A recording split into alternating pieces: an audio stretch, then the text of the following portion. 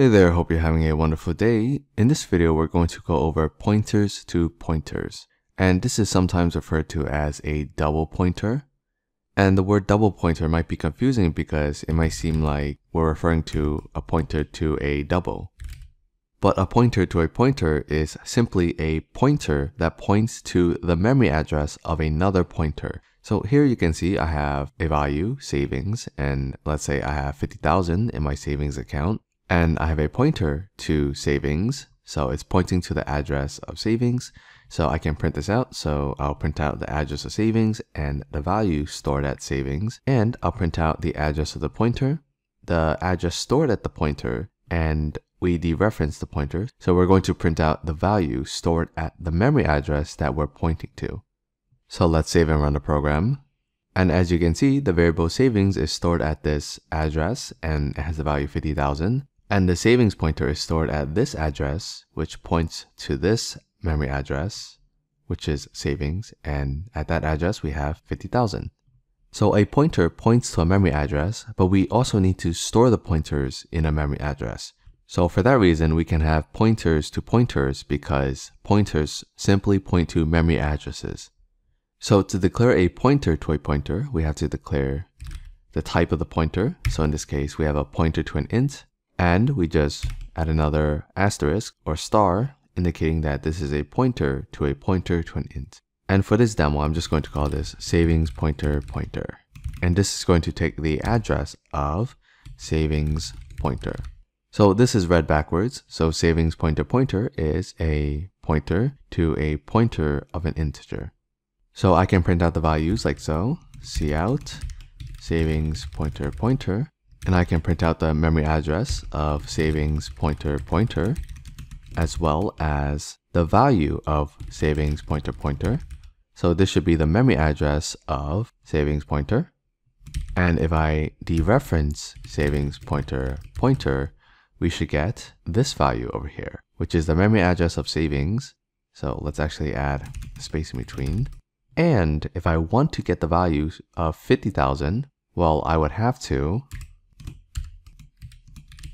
do a double dereference. So I would do star star savings pointer pointer. So when we dereference the savings pointer pointer, we get the memory address of savings pointer, which is this, and then we can dereference this pointer so that we can get the value of savings. Alright, so now let's save and run the program. And as you can see, we have the memory address of savings pointer pointer, which points to the memory address of savings pointer. So it's equal to this value here. And if I dereference savings pointer pointer, then we get this value over here, which is equal to the memory address of savings. And then if we dereference it once more, we get 50,000, which is the value of savings. Okay? And another thing you can do is you can have a pointer to a pointer to a pointer of an integer. And actually you can add as many pointers as you want. But this would overcomplicate your code and this is very unnecessary. The most you'll probably see is a double pointer. And that is because we use a pointer to dynamically allocate an array on the heap. But if we have a double pointer, then we can dynamically allocate a 2D array or a matrix on the heap. But aside from those use cases, I don't think there are many use cases for double pointers in C++. Now in C, there might be more use cases because there are no vectors or strings, and you cannot pass by reference in functions in C. But we'll go over functions and pass by reference in a later video. And speaking of pass by reference, so if I wanted a reference, I would do savings ref like so, and just assign it savings. But what I cannot do is have a double reference.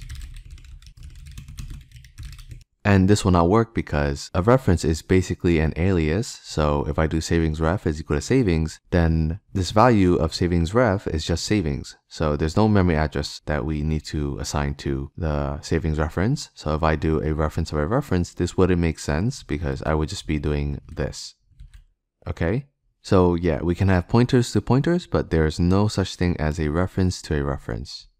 So why do we use pointers to pointers? Well, we can dynamically create 2D arrays on the heap. So for instance, if I have two variables, row count and column count, And in the previous video, we talked about allocating an array on the heap or dynamically creating an array.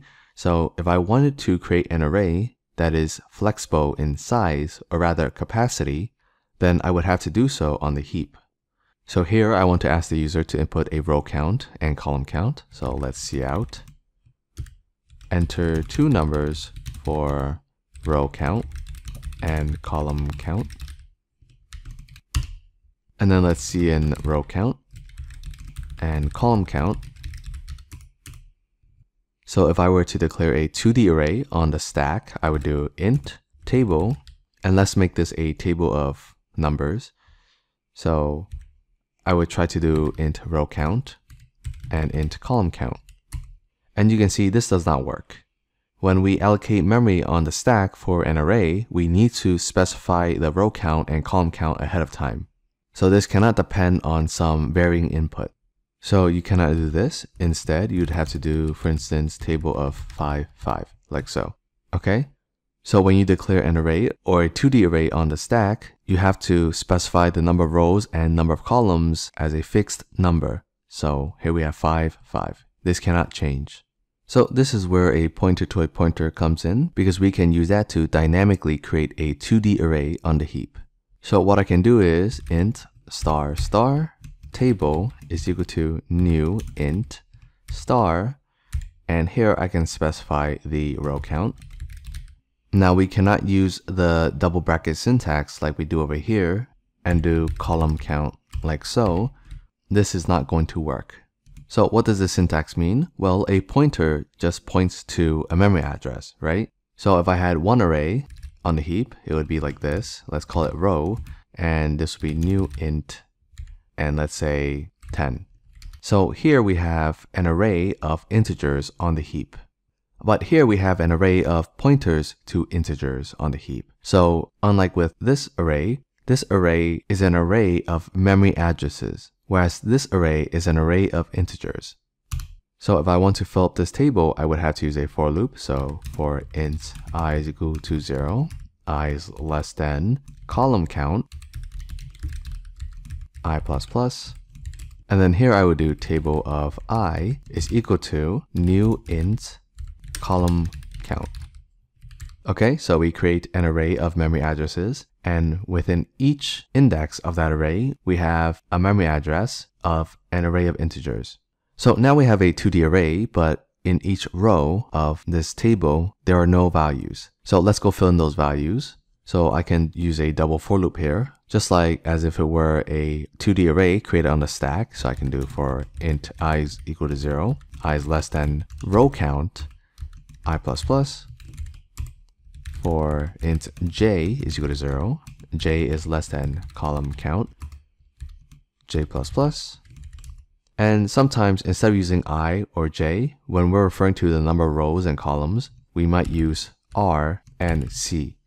But I'm just going to keep it consistent because I already used i here. But yeah, using r and c for row and column is a lot easier to read than i and j because i and j look very similar. So it will definitely reduce the chance of you making a typo, which would cause an error in your code. But anyway, let's fill in these values. So I would do table of i, j, and assign it to 0. So this is just a default value I'm going to give here. And let's print out the values. So I can just copy and paste this. And instead of assigning it the value, we can just do cout table of i, j, space, and then after each row, we're going to cout end line. And let's do the same here. Okay, so here we are just filling the values with zeros, and here we are printing out the 2D array. And before I run the program, we need to do a cleanup. So whenever we allocate memory on the heap, we need to clean up that memory if we're no longer using it. So let's do for int i is equal to 0, i is less than row count, i plus plus. We are going to free up the memory at that index of table, so delete brackets so this is going to free up the memory of each array in the table. So I'm going to do table of i. And just to avoid dangling pointers, I would assign at each index null pointer. Okay, And after we've freed up the memory of each array within table, I'm going to free up the table itself. So delete table. And let's set table to null pointer. So this should match the for loop we use for creating each row in the table array. So let's scroll up and check. And it seems like I made a typo. So this column count should actually be row count. So we create as many rows as there are row count. All right, let's save and run the program. All right, enter two numbers. Let's do 5, 5. And you can see we have 5 rows and 5 columns. And if we run the program again, let's do 5, 10.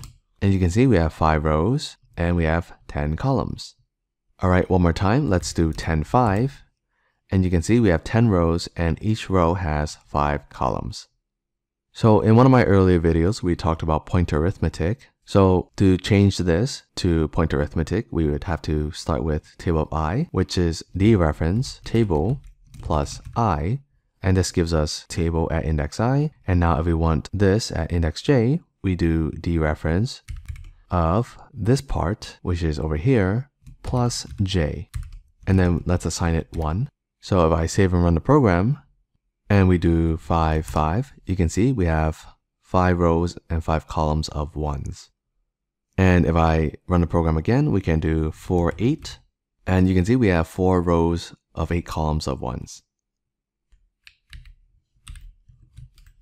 So when we declare a 2D array on a heap, we can use varying values, so they don't have to be fixed integers.